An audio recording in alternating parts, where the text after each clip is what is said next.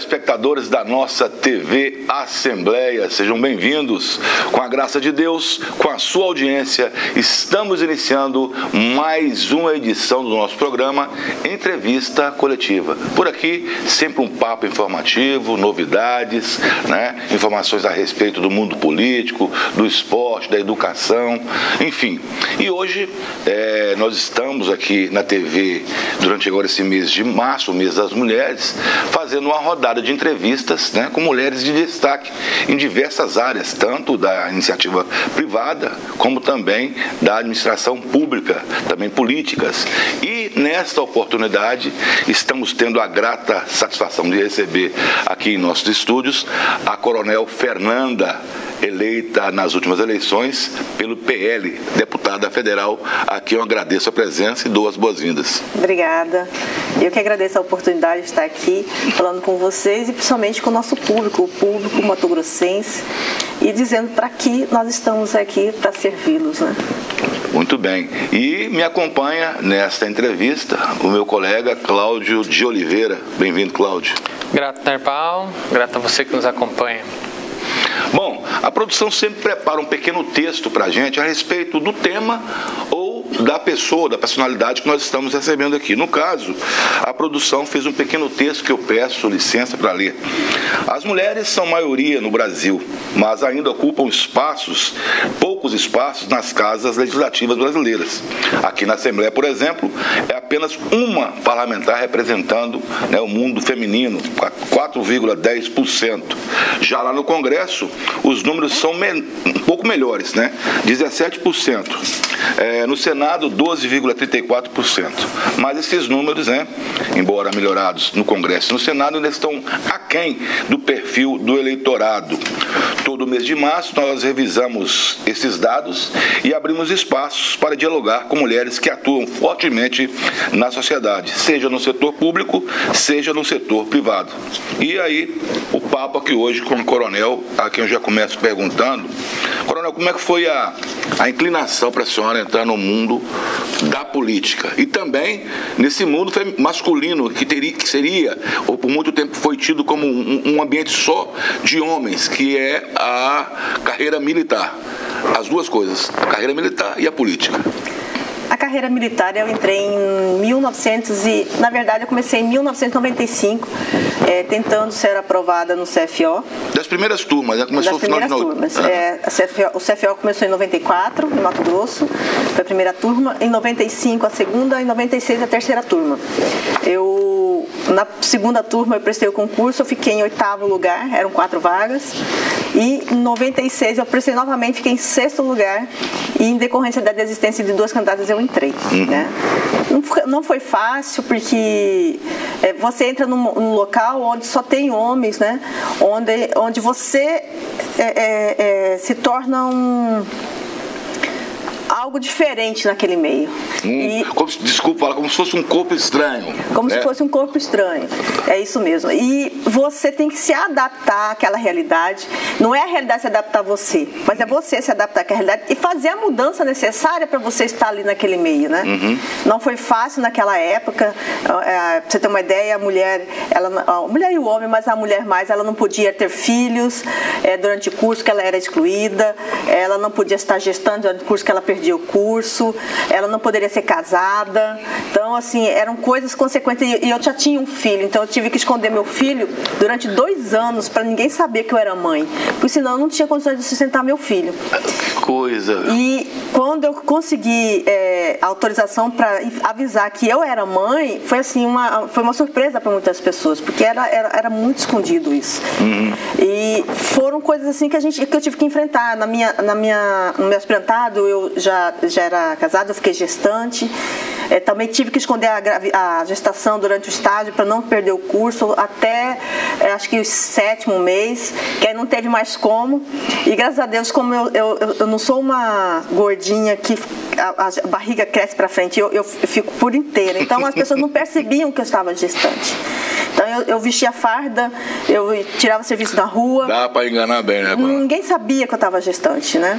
Então, assim, foram, foram barreiras que a gente foi, que nós fomos é, é, ultrapassando e abrindo porta para outras mulheres. E hoje, graças a Deus, a instituição não tem mais nenhum prejuízo em relação a isso. Graças a Deus, ó, tudo que nós enfrentamos, nós deixamos um legado para as novas gerações, né? Assim como eu e outras oficiais que passaram pelo mesmo problema e que hoje não acontece mais. E como é que a senhora administra hoje? Falei, falei da questão também da, da política, da inclinação para a política. A senhora que é mãe, como já falou, quatro filhos, uma menina e três homens. Isso.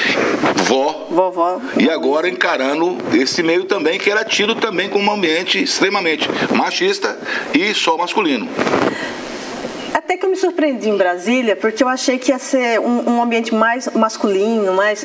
É, o, não sei se é o, é o, grupo que nós estamos fazendo parte hoje, é, nós estamos muito próximos um do outro, um ajudando o outro, é, um auxiliando o outro, não tem rivalidade. É, eu vou falar que você fala isso, eu, não, é, é, é união entre todos nós, né?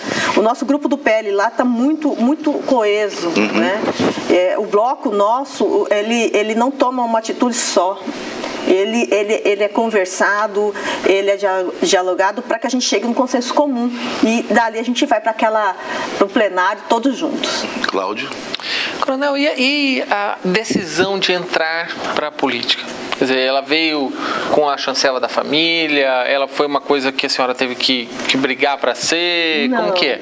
Acho que foi uma das coisas que eu, eu tive que brigar para permanecer, não para ser, né? Porque assim, quando eu, eu não, não fiz um projeto para entrar na política, eu não mexi com política, eu não fui atrás de ninguém para entrar na política. Eu simplesmente recebi uma ligação do presidente Jair Bolsonaro no ano 2020, é, ele me convidando para ser a candidata ao Senado por Mato Grosso né? Porque teve aquela vaga suplementar. Sim. E quando ele me fez esse convite, eu achei é, é, é, muito importante atender esse convite. Primeiro, para ser o presidente da República e defender as pautas que a gente acredita. E segundo, que eu me vi ali na oportunidade de ajudar meu Estado. Porque você trabalha igual o policial militar, ele trabalha em todos os lugares. Ele trabalha do, da comunidade mais pobre ao ambiente mais bem, bem é, financeiramente falando, do bairro mais chique.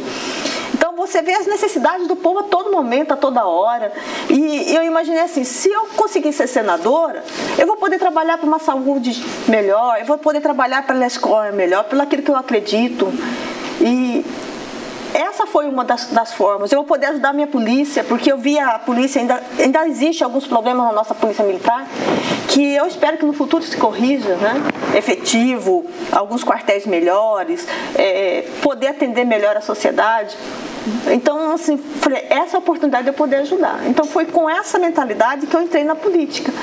Quando eu aceitei o convite do presidente e vim trabalhando ela de uma forma meio que empírica, porque eu nunca tinha trabalhado com política, nunca tinha visto o que era política, eu nunca disputei nada e me surpreendi com tudo isso. A única coisa que eu levo de toda essa, essa fase é o aprendizado de você estar é, próximo das pessoas, né? você conversar, você ver as realidades, você também conhece o pior lado do ser humano hum. na política política, você vê o lado bom e você vê o pior lado, que é o lado onde as pessoas é, chegam até você achando que você tem dinheiro, é o lado onde as pessoas vêm tentando é, tirar alguma vantagem. E isso faz, fez com que eu amadurecesse em várias questões, né? Porque até ali eu não tinha, eu tinha vivido. A minha preocupação enquanto polícia era eu fazer o meu papel bem feito, não, permitir, não me permitir nunca ser corrompida e seguir o meu caminho correto, naquilo que eu acredito. Eu, quanto política, era eu saber, era aprender de quem eu poderia estar do lado e quem eu não poderia nem chegar perto. Achei curioso a fala da senhora, assim, na política eu conheci o pior lado do ser humano. E a senhora foi da polícia militar lidando com um bandido. Né? Assim, soou para mim assim, olha, o que o, o, ser humano é capaz de fazer é pior do que eu consigo imaginar às vezes. Chega a surpreender o militar que, ah, né? chega a surpreender porque, o militar que já atua. Porque o, o policial militar ele não trabalha essa parte política, né? Ele não trabalha os, os como que eu posso achar uma palavra esses meios esses meios né? Ele trabalha ele tem uma atividade fim ele vai para atender a sociedade ele, ele vai dar o seu melhor para aquilo que é melhor uhum. né? A gente sabe quando a gente vai para um confronto a gente vai achar pessoas que têm outras intenções. É, eu já conheço o perfil eu, daquela eu cidadã. que se surpreende porque não espera daquelas pessoas não, ali. Eu já sei o que eu vou esperar dela uhum. né? Eu já sei quem ela é o que, que ela faz. Agora quando você vem na política às vezes chega uma pessoa bem arrumada, Gravatada. é, gravata, nem, nem gravatada, mas bem arrumada, uma palavra doce. Quando você descobre, meu Deus, do céu, eu não acredito que essa pessoa teve essa capacidade de fazer tudo isso. Então a política ela, ela te dá essa oportunidade de você conhecer esse lado, você optar qual lado você vai querer e saber o caminho que você vai tomar. Agora, Narbal, você me permite. Que é, isso? é, a Coronel falou que teve que brigar para continuar. E a senhora não contou essa briga. Eu tive que, porque assim, quando eu fui lançada pelo presidente, muitos queriam ser o, ser escolhido do presidente Bolsonaro. E eu não fiz isso, mas briguei muito. Briguei muito porque eu tinha um nome a zelar, eu até, até aquele momento eu era mãe, eu, eu era esposa, eu, eu sempre tentei fazer o meu melhor na minha instituição para mim não sair com o meu nome sujo. Quando eu entrei na, polícia, na política, esse lado que eu vi das pessoas tentando me destruir como pessoa, como cidadã, para permanecer no poder. Então, eu tive que lutar muito, primeiro para provar que eu não era igual a eles. Segundo, que eu estava ali porque eu merecia, Deus me permitiu chegar lá. E terceiro, que mesmo eles tentando me, me assustar, coisa assim, eles não iriam conseguir, porque eu estava vindo do mundo onde, é, é, é, como, a gente, como a gente fala no quartel, né? A gente não, não, não cai de paraquedas, a gente Sim, não morre de claro. susto, não. A gente tem que É. ir para o enfrentamento Não, tem- não é filho de pai assustado. não, não é filho de pai assustado, era essa palavra que eu queria falar. Então, assim, eles, eles, eles se enganaram em relação a mim. Né? Eles acharam que eu seria uma pessoa que, no primeiro confronto, ia recuar. Às vezes, uma lágrima de uma mulher não quer dizer que ela está fraca, não. É para ela controlar a raiva e o ódio dela. E eu, quando choro, sai de perto, porque a minha ira, ela sobe. Então, essa é uma forma de eu, de eu descarregar aquilo para que eu não passe do meu limite, do que eu sou capaz de fazer. Ô, deputada, é, a senhora, por exemplo, teve seis- 60.304 votos, uma votação expressiva. Né? E essa representatividade lá no, no- no Congresso, junto com toda a bancada do PL, que cresceu bastante, uma das maiores, né, se não me engano, tem algumas demandas, algumas, alguns temas políticos, é, é, polêmicos sendo debatidos. A senhora falou até aqui em off, aqui eu até comentei uma, uma indiscrição, que é a questão lá da, das mulheres trans, que ela, sim, ela tem lá os direitos delas, mas estão forçando a situação que a senhora está desconfortável e acha que não é justa. Explica pra gente a respeito desses temas, começando por esse. Olha, Que são é, muitas as, a- são. a- a- as questões polêmicas ali, por isso é diferente, né? São. Nós estamos num momento muito polêmico. Na última terça-feira, o Nicolas ele fez uma, uma fala no, no púlpito. E Nicolas é deputado por Minas Gerais. por Minas Gerais. E ele não fez nada. ele- a gente tá- eu estava do lado dele, nós estávamos todos juntos lá, como eu falei, a gente chega em bloco lá. Mas o que eu vi não foi uma fala, é, é, a repercussão da fala dele foi, foi em função do benefício da mulher. Lá existe uma ala feminina que defende o direito das mulheres. Mas aí como que eu vou defender o direito de uma mulher, esquecendo que ela é, porque eu tenho que defender o direito de, um- de uma mulher trans? Não sou contra ninguém, gente, não é isso. Eu acho que só que cada um tem que estar no seu lugar. Cada um tem que ser reconhecido. A discussão começou em relação ao dia 8 de, de março, Dia da Mulher. Mulher é mulher. Mulher não é mulher trans. A mulher trans, ela existe, ela se compreende, se entende como mulher, mas ela não é mulher. Isso, é- isso, isso, é, isso é biologicamente provado que ela não é mulher. E nós queríamos mostrar para. Olha, gente, hoje é o Dia da Mulher. É se comemora o dia em que as mulheres é, morreram para serem reconhecidas na sociedade. E que hoje nós enfrentamos dificuldades para ser reconhecidas na sociedade. E aí me vem um grupo de mulheres de esquerda que usam pautas progressistas para poder se, eh, se, se valorizar ou se compor no meio, esquecendo e anulando mais de 50% da população brasileira que são mulheres. Ah, as mulheres trans elas sofrem, sofrem, mas as mulheres sofrem muito mais. Nós temos aí o, o número de feminicídios. Eu vi ontem numa entrevista da deputada Júlia, Jú- Júlia Zanata e foi apresentado durante a entrevista o número de mulheres trans que morreram. Cento e- 174. Se você considerar esse número de mulheres que morreram por causa do feminicídio, é muito maior. É muito maior. E o que a gente tem considerado é que o que eu quero como mulher é que o meu espaço seja respeitado, as minhas lutas sejam reconhecidas e elas não podem ser passadas para ninguém. As mulheres trans, elas têm as lutas delas e a gente vai trabalhar para ajudar as lutas delas, mas não anulando as nossas. Nós estamos tendo problema aí das mulheres no esporte, onde mulheres trans estão entrando e disputando com mulheres. Como eu e você, por mais que eu seja é, treinada, é, é, preparada para te enfrentar, mas você é homem, você tem mais músculo, você tem mais força. A gente vai ter uma, uma luta pesada aqui. Uhum. Você vai, às vezes você vai ter é, vantagens em relação à minha, à minha força física. E as pessoas têm que reconhecer essa diferença. A gente não pode deixar que isso aconteça no Brasil. Já entrou na parte do esporte, está querendo entrar agora nos banheiros femininos. Isso é impossível. Eu sei que lá eu tenho duas deputadas, eu tenho certeza que elas não vão entrar no banheiro feminino para fazer mal para nenhuma mulher.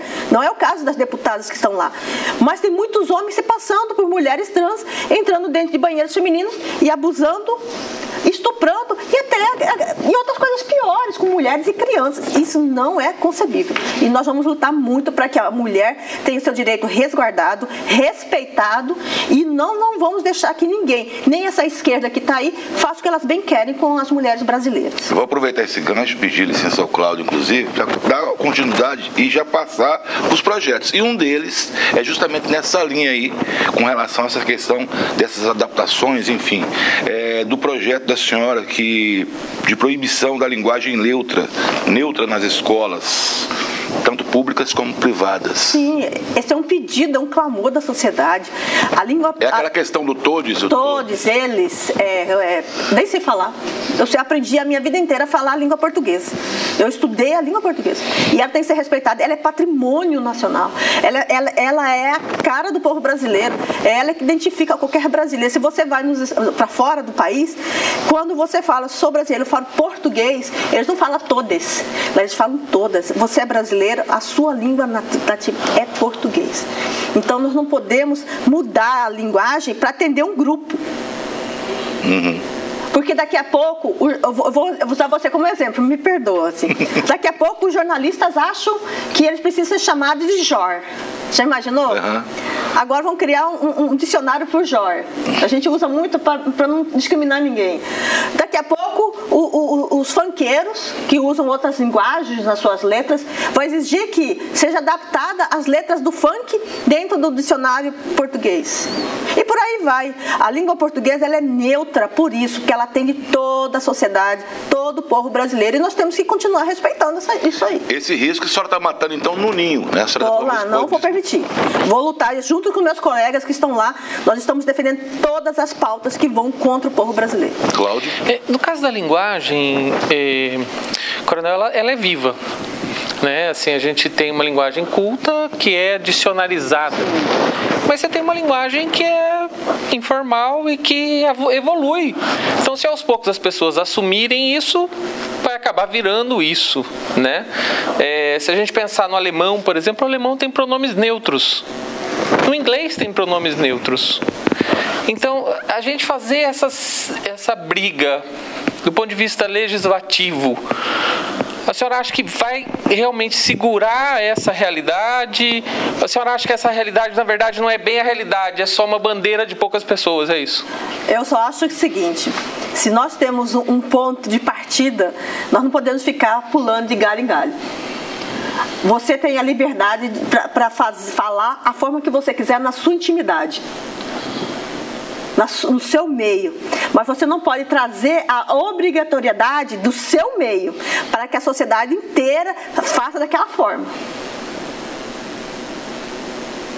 Não tem como isso acontecer. Eu ensinar crianças todos para agradar meia, meia dúzia de pessoas. E aí eu vou mais além do que isso.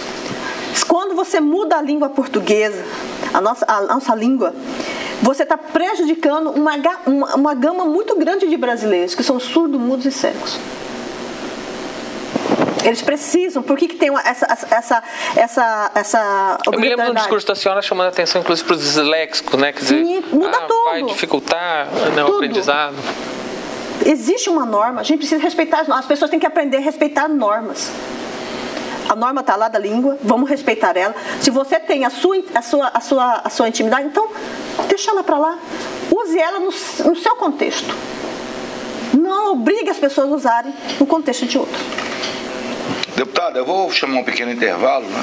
E para você que está nos acompanhando, estou, ou chegou agora, nós estamos conversando aqui com a representante de Mato Grosso no Congresso, né? A Coronel Fernanda, mãe, avó, né? Militar e agora deputada, falando a respeito das ações da deputada lá no Congresso e também conversando um pouco a respeito desse mês da mulher e lembrando e resgatando alguns direitos e também os avanços, né? Que a mulher vem conseguindo aí. É, é, tanto no campo profissional, político, dentro da sociedade. Eu vou ficar, fazer uma pequena pausa e já voltamos. É pausa para um cafezinho e nós estaremos de volta com o nosso programa Entrevista Coletiva.